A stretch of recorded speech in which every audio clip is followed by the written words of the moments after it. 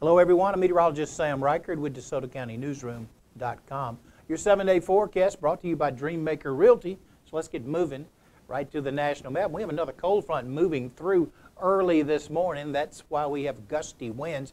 In fact, earlier this morning at my weather station location, I recorded a wind gust of 45 miles an hour. Down in south central DeSoto County, in the Box Corner area, I saw a wind gust there around 1.30 this morning. Also, of 51 miles an hour. Now, winds are not going to continue to blow that hard today. They're going to calm down slowly throughout the day as this front moves on to the east and skies begin to clear, I think, later on in the afternoon. Let's look at the SATRAD, put that in motion. These storms are what moved across our area yesterday and into the early evening hours. In fact, they moved out of here about 10.30 or so last night, and they're moving south of Atlanta toward the Atlantic Ocean right now. Nothing on our radar to the west. That's where we see weather generally coming from.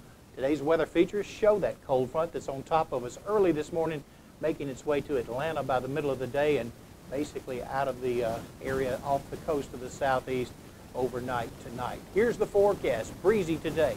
Winds from the northwest, 15 to 20 miles an hour, gusting to 25 early today, calming down to only 10 to 15 miles an hour from the northwest later today. Cloudy early, I think partly cloudy late, so I'm optimistic that our skies will look like this later on this afternoon.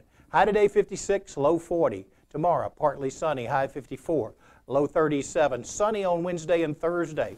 High temperature on Wednesday 59, 66 on Thursday, up to 69 degrees on Friday with mostly sunny skies. Saturday 70 degrees, mostly sunny. Should be a nice day. Sunday, we have rain back in the forecast, at least a 30% chance with partly sunny skies.